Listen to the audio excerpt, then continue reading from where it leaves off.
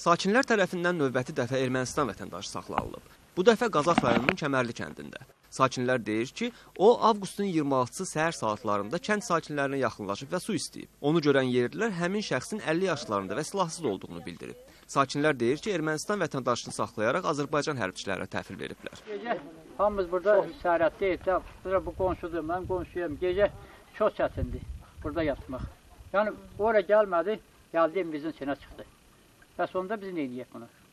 Silah yox, bir şey yox. Əlimizdə bir silah yox. Gedək bayə nə yalvar, gəl bizə kimə zəng eləyək, gecə erməni gəldi və girdi. Bu da bizim narahatçılığımızdır. Bizim uşağımız var, balaca körpə.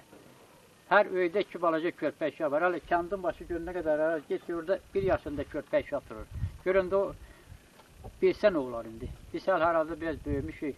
Heç vaxt biz Vayinidən qorxmamışıq. Dünənləri dedilər ki, erməni sərhəddi keçib, gəlib qonşu qonşunun qonşular görüb.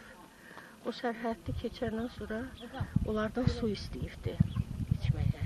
Hə, Sonra zəng elədilər, buranın kənd sovetinə gəldi, biz onu götürdü, apardı, təhvil verdi.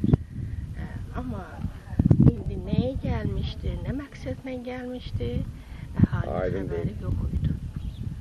Gələcəyimizi fikirləşirik. Heç demək ki, yəni e, e, düşmən gələcək, erməni gələcək, nəsə bir qorxaq ya belə heç bizi eynimizə gəlmir. Yerli icra nümayəndəsi Adıgözəl Dursunov da Azadlıq radiosuna Ermənistan vətəndaşını saxladıqlarını bildirmişdi. İki gün sonra avqustun 28-də Adıgözəl Dursunovun işdən çıxarılması ilə bağlı xəbər yayıldı. Sakinlər onun mediaya məlumat verdiyi üçün işsiz qaldığını bildiriblər. Amma Adıgözəl Dursunov özü ərizə yazdığını deyib. Geniş müsahibə verməsə də işdən çıxması ilə bağlı ərizəsi təsdiqləndikdən sonra hər şey danışacağını vurğulayıb. Ermənistan vətəndaşının saxlanması ilə bağlı Müdafiə Nazirliyi bu məlumatı nə təkzib, nə də təsdiq edib.